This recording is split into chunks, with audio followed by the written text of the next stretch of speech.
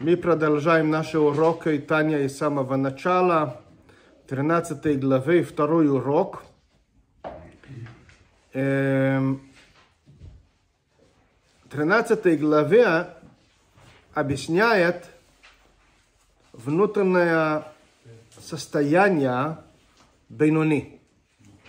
И мы учили в прошлый урок, что первое и главное понимание про Бейнуни, что он отличается от цадик в том, что у него есть животная душа.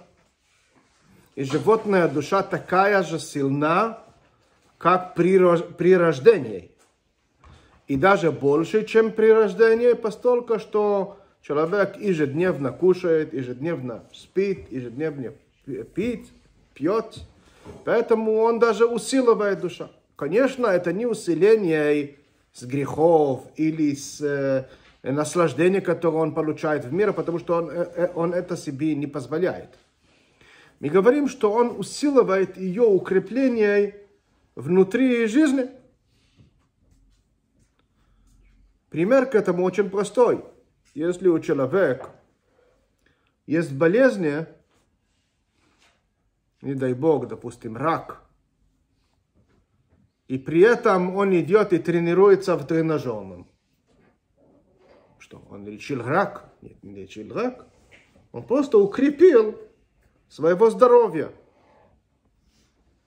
Да? Так же самое животная душа. Если не покор, покормишь животная душа наслаждений всяких разных, которые она продевляет в желание, то она не развивается. Но само ее существование укрепляется благодаря жизни, просто жизни, просто соединяется больше с телом. Теперь мы встречали в первой главе очень серьезный вопрос. Поскольку что Рабо, один из великих эмураим, мудрецов Талмуда, который был учитель Абайи, говорит и, про, и, и заявляет про себя, я, он говорит, Бейнуни. И тогда Ребе задавал вопрос, как можно рабу себе называть Бейнуни? Теперь мы чуть-чуть понимаем. Почему чуть-чуть понимаем? Потому что Бейнуни это человек, который не грешит. Не грешит. Абсолютно нет, ни разу. Если он грешит хоть в чем-нибудь, он уже грешный, мы уже говорили. Бейнуни это человек, который не грешит. В том числе он не перерывает себе изучение Тору. Разница между него и праведник – внутреннее состояние. У праведника нет животная, животная душа, у Бейнони есть. И поэтому Рабо мог себе говорит, что я не праведник, еще и есть такая клятва, которую мы учили, что мы должны себе сказать, что даже если все, все, все люди в мире говорят, что я праведник, ты должен думать, что ты как, как грешник, то есть Бейруни. То есть я, и, и рабу себе так сказать, так сказал. Только что есть один но где самое яркое определение бейнони ли человек или цадик в чувство. Помните, помните мы, мы учили, что у Бейнони, когда есть у него, прерывается у него чувство к Богам, любви к Богам или, или страх, боязнь от Бога, когда это появляется у него. Или во время молитвы, или во время чтения Шма. Тогда есть небесная помощь. Не только он старается побольше, а есть небесная помощь. Когда заканчивается молитва, то эта любви исчезается. Почему исчезается? Нет небесной помощи. И он не в такой положении, он ушел, ушел уже на работе, он уже пошел, пошел покушал, уже все, он перерывал то состояние, которое было во время молитвы. Поэтому Бейну не знает, что он не праведник. У праведника это не так. Праведник находится в состоянии любви ко Всевышнему постоянно. Почему так? Потому что он, кто, кто он? Божественная душа. Он, главный у него какая? Божественная душа. Что хочет божественная душа? Богом хочет божественная душа. Поэтому он любит Всевышнему. Бейнони почему не любит Всевышнему постоянно? Потому что он кто такой? Животная душа. А животная душа, душа что хочет? Покушать. Она не любит Всевышнего, она хочет покушать. Поэтому Бейнони должен внушить в себе чувство о любви Всевышнему. И он внушает себе это чувство во время молитвы, во время читания шма. Но не каждый, но не каждый, но не каждый, каждую минуту в день. Большинство времени, а у него и нету это. И вот здесь начинается у нас тогда проблема. Раба, он же был праведник, мы же знаем. Он думал, что он Бейнони. Но он уже был праведник. Это означает, что у него чувство, тяга любви или боязни перед Всевышним, Всевышнему было всегда. Он это знал, что у него всегда есть. Он это чувствует, это чувствует, нельзя не чувствовать.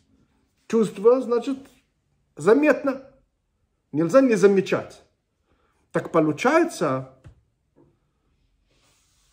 еще раз вопрос, как рабу мог думать себе, что я все равно Бейнони и не цадик, когда он закончил молитву, и он дальше продолжает чувствовать перед Всевышнему и любви, значит, тяга к Всевышнему, или трепет, или страх перед Всевышнему, такой, который Бейнони обычный не сможет.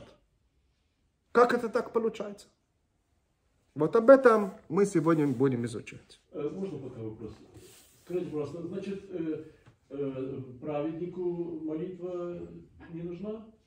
Как, как такого мог понять от моей слова? Э, ну, потому что им подпитки не нужно никакой. Они постоянно, э, праведник, это божественная душа сплошная, и он постоянно э, слит с Богом духовно. Поэтому э, мы же молитву для чего э, молимся? Для того, чтобы э, как-то перебить э, вот стремление животной души. Скажи ну, меня. Угу. Я говорю, просто до того изучали, что если даже родился праведником и нету животной души, и он не будет э, стремиться, заповедь, то он... Ну, Правильно, правильный ответ. Но есть еще, еще, еще, еще, еще один ответ. Правильный ответ. Но еще один ответ. Когда у тебя мама была в живых, она знала, что ты ее любишь. А ты ее когда-то сказал ей это еще? Мама, я тебя люблю. Ты сказал ей? Зачем? Она знает. Зачем? У нас есть друзья. Мы раз в какое-то время приходим и говорим, знаешь, ты мой друг. Почему? Он знает. Это не так. Поскольку что праведник это человек, в конце концов это человек. Это человек, который у него главная и самая сильная в жизни, сам, самое, самое большое отличие от, от, от меня, большинства из вас, исключая, может быть, одинокий в нашей зале, то в том, что мы чувствуем первые наши нужды. А он чувствует не наши нужды, а божественная нужда. Почему? у него в жизни есть божественная душа, а у нас в жизни есть животная душа. Животная душа это мы, а у него кто он? Божественная душа. Вот разница огромная. Но тем не менее, он же человек. У него есть постоянный диалог между него и Всевышнему. Диалог. Это диалог происходит во время молитвы. Это диалог происходит во время выполнения заповеди. Это диалог происходит во время учения Тору. Оно меняется постоянно. Сегодня праведник был в одном уровне, через несколько времени он становится в другой уровень. Оно меняется с праздником, со времени в, в день, со времени в году. Это по-разному бывает у них. Поэтому, конечно, есть разница, большая разница. Так, я расскажу не совсем по тему, но очень, очень сильно показывает, что праведник это не какой-то автомат. Там должны быть какие-то дела для того, что они будут услышаны. Был очень интересный э, праведник, который до Холокоста, у него была одна из больших общин в бывшая Российская империя на территории Украины. Эм, Звил, есть такой городок, Звил. Он был Ребе из Звил. И в каком-то время он решил, он взял с собой сыну.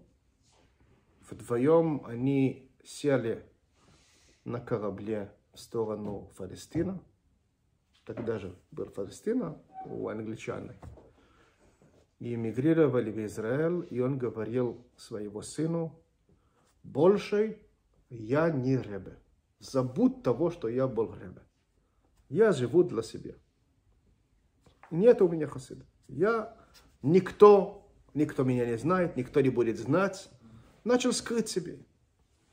И он приехал, и он жил очень бедно. Вообще Израиль тогда было очень бедное государство. Но еще и жить в Иерусалим в то время, работа была где. Он жил, он жил там в старый город в Иерусалим. И ходил каждое утро очень рано, до рассвета, на стена. В то время стена плача, она была застроенной. Очень много арабских домов. Они специально это делали. И это была свалка. Они бросали туда мусор. Ну, унизить евреев. И евреев нельзя было стоять возле стены, э, сидеть возле стены. Они могли только стоять, каком-то маленький кусок. Э, и они прям там хорошо там настаивали это, этих правил. И он так, его порядок был, что он встал еще до рассвет, пошел в стену плачет, учил, молился, вернулся домой. Ну, такой порядок. Когда-то в Иерусалим я не понял, когда меня рассказал, человек, который рассказал меня, был такой человек, который можно доверять рассказы, это не такой видум, видумщик. И он достаточно хорошо это рассказывает. Звали его Равин Цви Гринвальд. Он мне это рассказал. Я не понял, как, каким годам, э, как это точно произошло, но я точно помню, что он говорил, что пришел в стену плача, это еще до создания государства Израиль, может быть, это было посещение такое, э, Ребе из Вижниц. Это городок в Польшу, очень важный. Э, движение в Хасидут – Эм, и он э, подошел с его какой-то делегацией хасидов к стеноплаче, и он замечает человек, незнаком, но что-то видел в него. Ну, все-таки он был ребе тоже.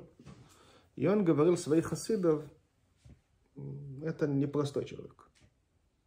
И как хасидов только, только услышали, зацепились к нему, и не отошлись, пока не поняли, кто он такой. И поднялся большой шум. Потер... Потерявший великий Ребе из Нашлось в Иерусалим возле стена плача в одиночество. И, конечно, что оттуда и дальше никто не дал ему покой. Постоянно его приглашали, то на обрезание, то на бармицву, то на, на свадьбу. Всегда высаживали его в главный стол. Он уже никуда не убежал.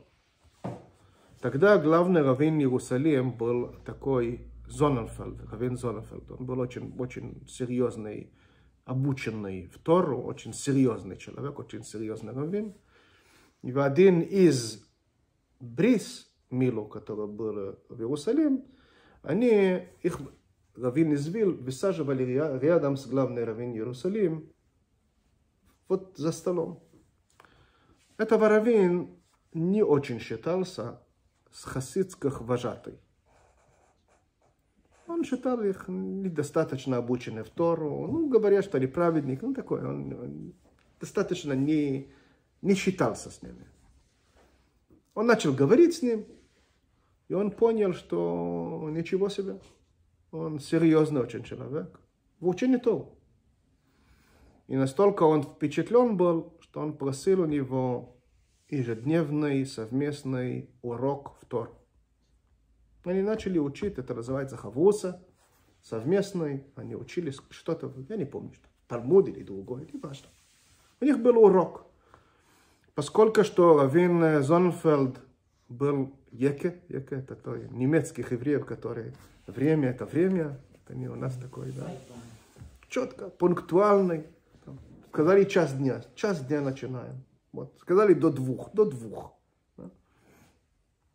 И Ребе извил, конечно, дорожил этого времени, но это, Зонфельд был достойный, достойный э, напарник. У Ребе извил была такая, такой путь для благословения, когда к нему пришли на благословение, он зашел в микве, укунулся, поднял голову, просил имя, имя матери, укунулся, вышел и сказал, что надо делать. Это было прям на уровень пророчества. Что сказал, прям так делала. Ну, четко. Это было известно всем. Сказал, ну четко так было. И он вышел из дому на урок с Равин Зоненфельд. И к нему зацепился один мужчина с лозой. И говорил, что жена начала рожать. И врач, ну, не выходит ребенок. Врач говорит, что или ребенок, или жена. Вот такое состояние было. Ну, что надо делать? Ну, ну он говорил, ну я, ну ребя, жена, или жена, или ребенок. Ну хорошо, побежал в микве, зашел в микве, поднялся, говорили имя матери, окунулся, вышел, говорит, все хорошо. Все будет хорошо. Ну, цветы нарожала, все нормально. И он побежал с опоздания на свой совместный урок с Равин Зоненфельдом. А тот смотрит, говорит, ну что? А что ему сказать теперь? Я благословила какую-то женщину. Ну, он говорил так, я был в микве. Равин Зонфельд смотрит, смотрит на него и говорит, старый человек должен ходить на микве. На микве идут на нечистоты. Жена у тебя не совсем в той возраст, ты не в той возраст. Зачем тебе идти в микве? Микве надо идти перед Йом Кипур, после отношения. Зачем тебе нужно в микве? Ты старый человек. А что? Он тоже не что, что начать сказать ему? И он нам говорил ему очень умный, очень умный ответ. Он говорил ему, что понимаете, когда не еврей, соответствующий всех экзамены и, и ответ Бейдин, то есть судья, принимает на себе иудаизм, он делает даже обрезание, если он мужчина, или без обрезания, если это женщина. Для того, чтобы стать евреем, ему что надо делать? Идти в микве, окунуться. То есть он, пока не зашел в микве, он был не еврей вышел из миквы, стал евреем. Если миквы, говорит ему Ребе из говорит ему, если миквы способная превратить из нееврея еврей, что она влияет, как она влияет из еврея, который окунулся в микве. То есть микве это очень, очень серьезная вещь. Вот видите, есть такие праведники, которые пользуются микве для того, чтобы получить силу, вот сказать какие-то вещи. Цадик это не какой-то автомат, это не робот. Хорошо, будем продолжать нашей, нашей учебы. Страница 93 под концу.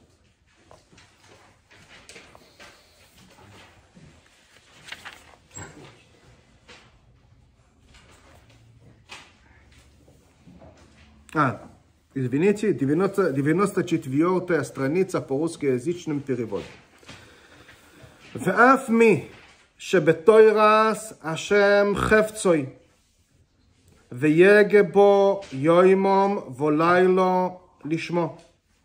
Говорит Ребе, даже такой Бейнуни, который находится в состоянии, что он бесперерывно учит Тору днем и ночью.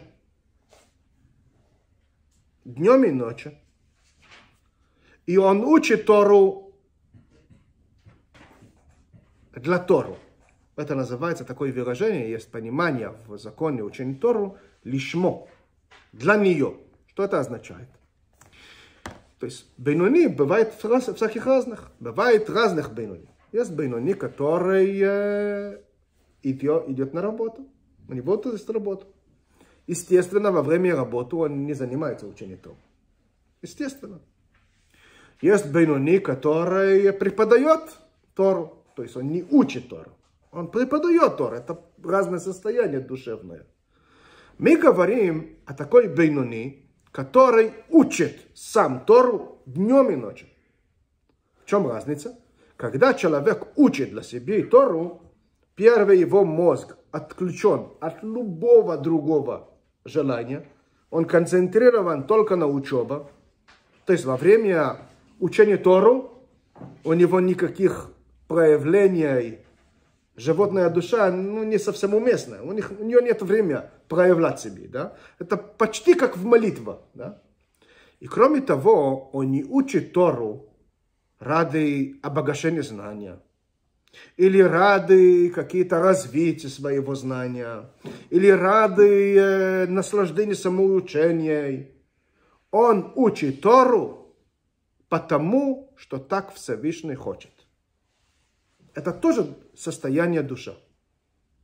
Это состояние души. Рассказано по один из э, хасидов, мы говорили о нем, Раби Чудермасмид, что он действительно был такой сорт Бейнони, который учил Тору бесперерывно. Раби Чудермасмид. И есть такая легенда, которая очень спорная, не важно сейчас почему спорная, э, но есть таких который рассказывает, что он учил в Талмуд, занимался в Талмуд, пока не начал получить из этого наслаждение.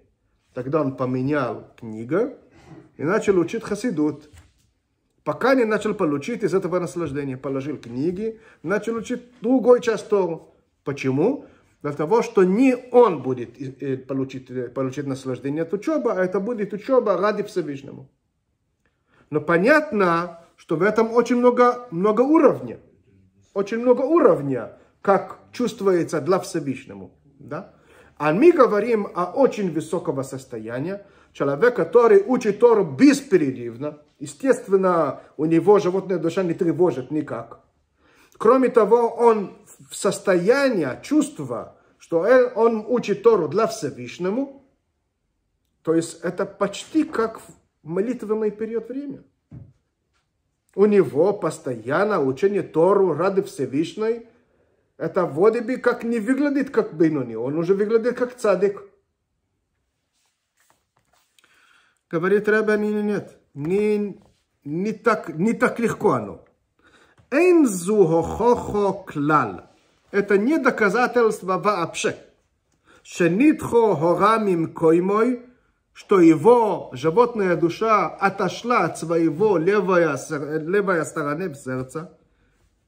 Так, как он может, как он способен учить Тору бесперерывно и чувствовать, что он это делает ради Всевышнему, אלא יכול להיות פלני возможности, שמהוסי ועצמוסוי ובתוקפוי בגבורוסי במקוימה בכל השמאלי. Может быть, что сама животная душа, она такая же, как при рождении, как мы говорили, в левая сторона.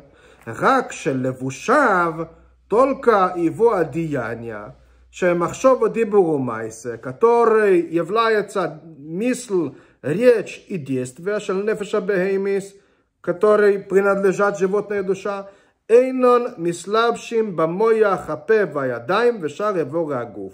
אני не соединяются с рот, с руками и, и других частей тела. מפני השם שנושן שליטו וממשלו לא מויח הלב, поскольку что мозг, разум влияет, и он решает, что будет с, с, с своего организма. Так Всевышний устроил, как мы говорили, это в натуре так. То есть, и поскольку что сейчас мозг, разум, занимается учеба в Тору, он отталкивает других мыслей.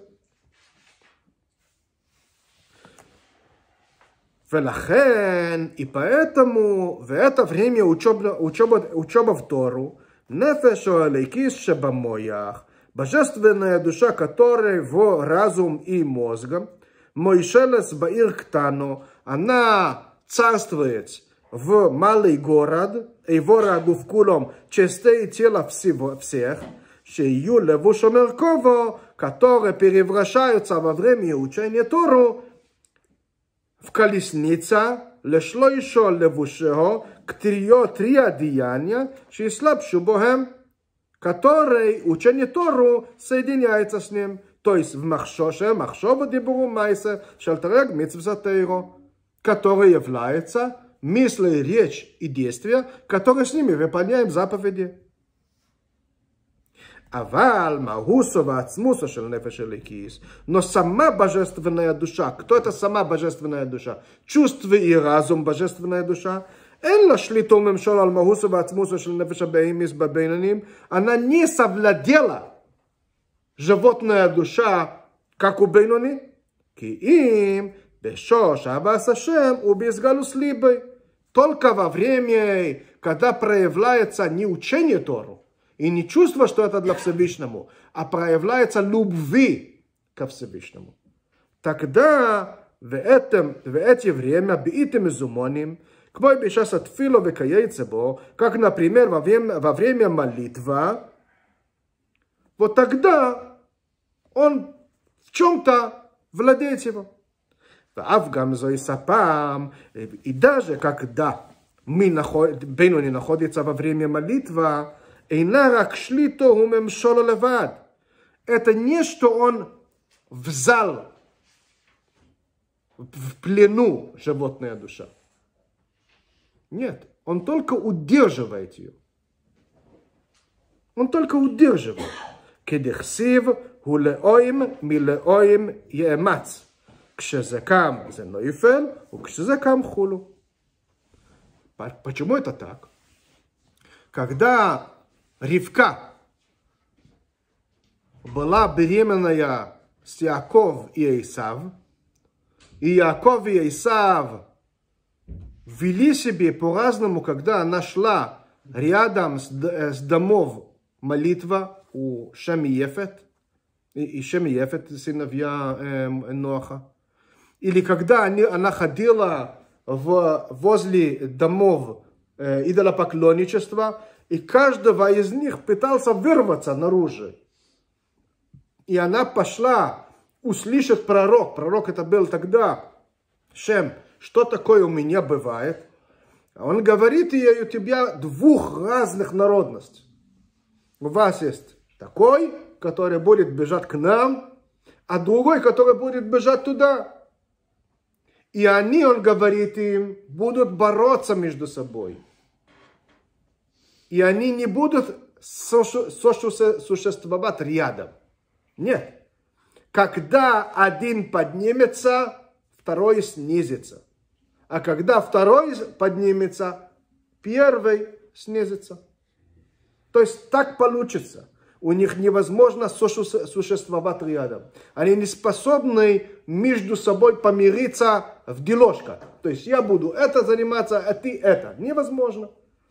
У Бейнони, когда он молится, в это время животная душа ужималась. Она маленькая. Но как только отпускает этих чувств любви ко Всевышнему, божественная душа у Бейнуни, сразу начинается поднять себе голову животная душа. То есть живо, животная душа не под контроль живо, э, божественная душа. Только она чуть-чуть потихла. Потихла.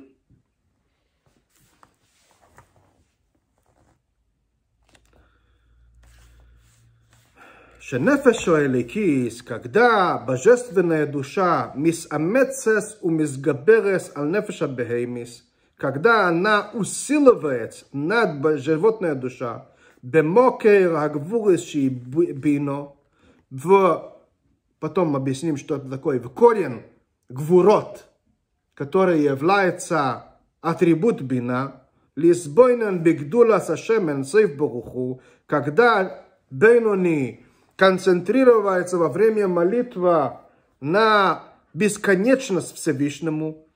В что происходит? Он и лохойлид авоазо кириш пейэш бехол емони шебилибой, когда он будил в себе любви, сильной любви, бурлящей любви ко Всевышнему в правой стороне его сердца, а это время Эскафия ситра ахре шебехол ласмоли.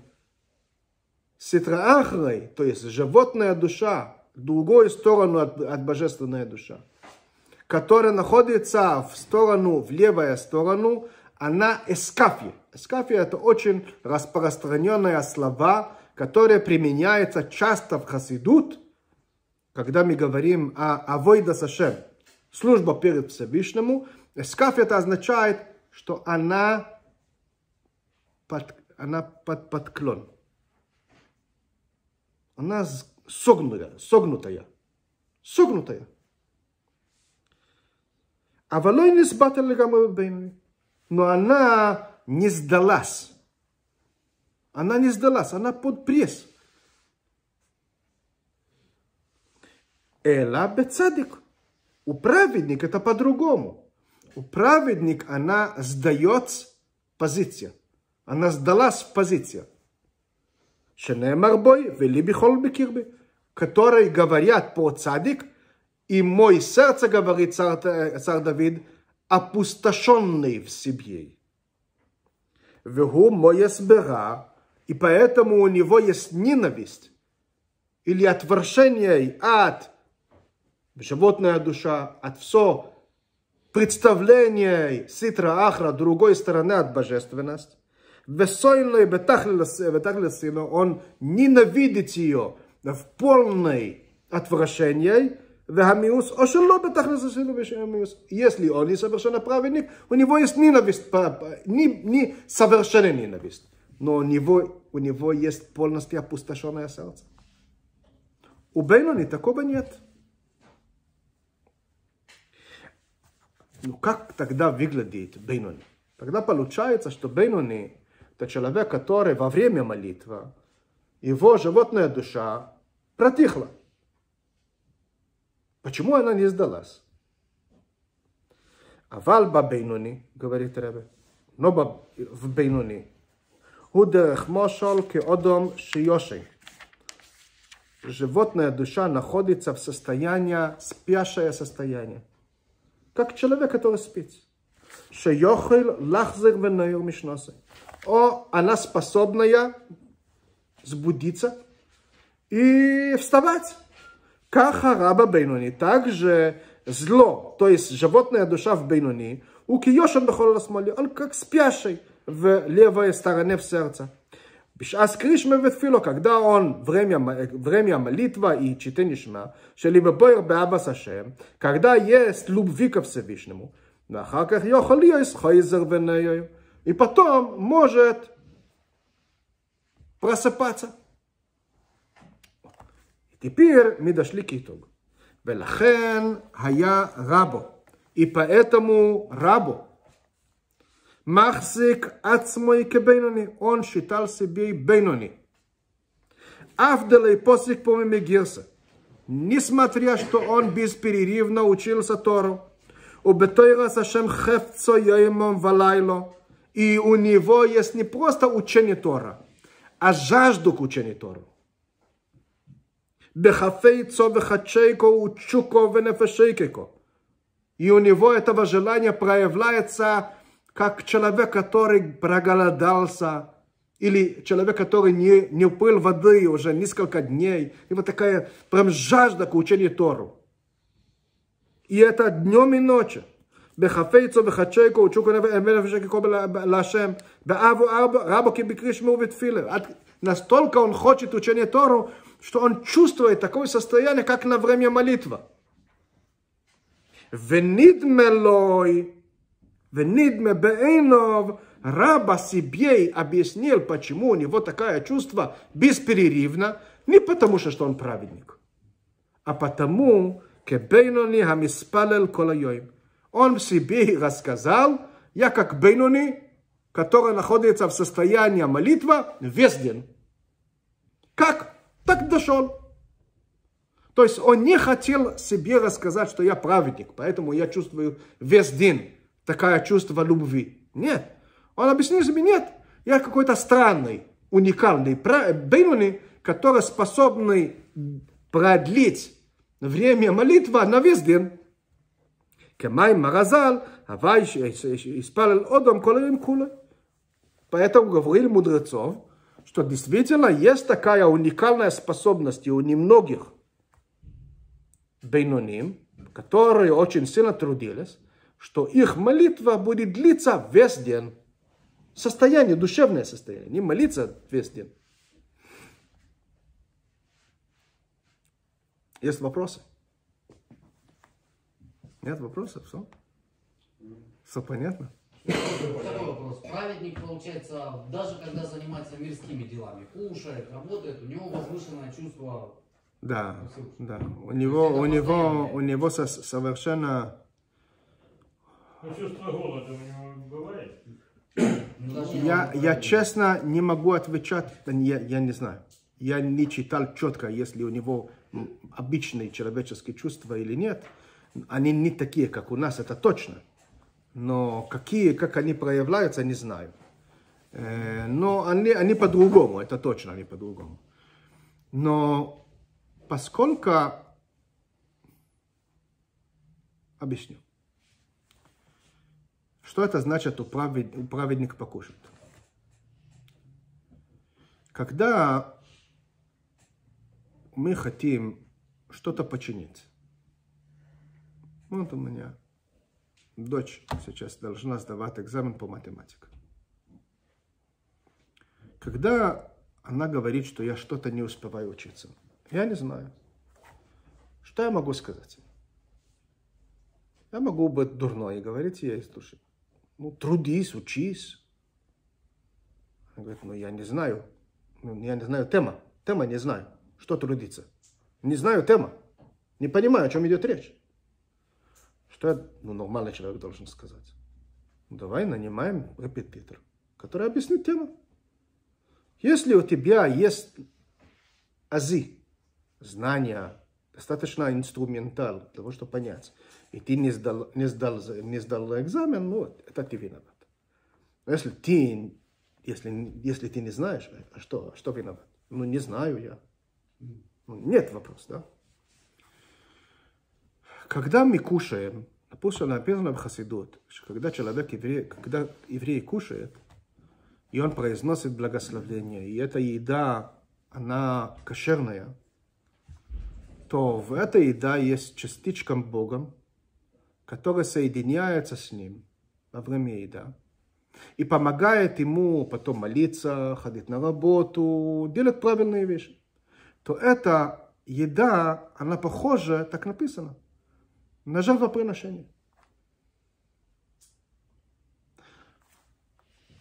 Тогда получается, что если я буду начинать есть, и меня будут спросить, ну чего ты такой обжора? Именно самые вкусные вещи. я ты говоришь, ничего. «Ну, кошерный шоколад, кошерный шоколад. Я кушаю, потому что в него есть частичка Бога. Я произнес благословение, произнес Потом пошел молиться, пошел молиться. То почему нет? Кушал. Это как жертвоприношение. Мы говорим ему, не-не-не, не, обманывай себе. Ты кушал, потому что тебе вкусно. Ты кушал, потому что ты получаешь из этого наслаждение. Да, параллельно к тому, когда ты кушаешь правильно, то это может тебе помогать в чем-то ко Всевышнему. Это не. Даже написано, что когда мы учили это, что когда еврей кушает субботный трапез, это есть, это есть заповедь. Есть заповедь кушать субботный трапез. То есть он сидел у нас в синагогу, Оля готовит прекрасно, у нас хороший черн, хороший кугл, он покушал, потом говорят ему, что вот ты так много покушал, это же вкусно. Говорит, «Ну что, это, это, это заповедь. Мы говорим ему, ну ты кушал, потому что заповедь, и потому что вкусно. Потому что вкусно.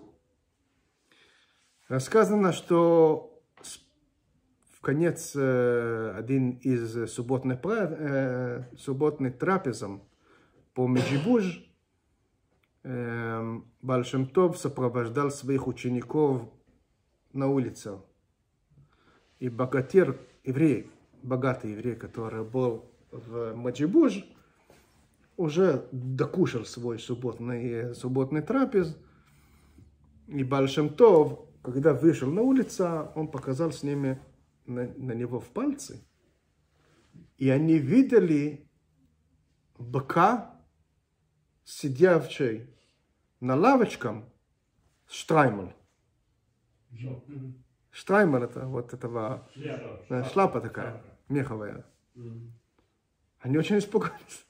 Он говорил, что это наши богатые евреи, который только что докушал свой чонт. Он превратился в корову. Бык. То есть у праведника, в чем, что происходит у праведника? У праведника вот это все материального составляющего просто нет. Спрашиваешь ли вы, чувствует он вкус, не чувствует, не знаю. Я реально не знаю, как это происходит у них. Но у них это нет. Не имеет значения них. Нет, нет, вообще, нет, вообще не имеет никакого. Не- Нет, у них другой, другой, у них вкус по-другому выражается просто. Вы- Выражается по-другому. Настолько, что мы учили, что раба, или рове это было, это было рове, зашел в Бесмедраш на учеба, и ему задали вопрос, и он говорит, я не могу найти в себе способ в моему, моего разума собрать мысли, давать вам ответ, потому что я еще не успел покушать мой кусок говядины. То есть каждый нас знает, что после того, что он покушал свой стейк, единственное, что он способен делать, это лежать прямо ровно на, на, на диван. Не больше. А у Рава это выражался, не покушал свой кусок, кусок мяса, не хватает у него сил на такой серьезный труд в учении. То есть мы понимаем, что у них чувство, еда, которая добавляется, она добавляется реально сил в неживотная часть. Не в своем существовании в жиром, а совершенно реально божественная душа. Хорошего вечера.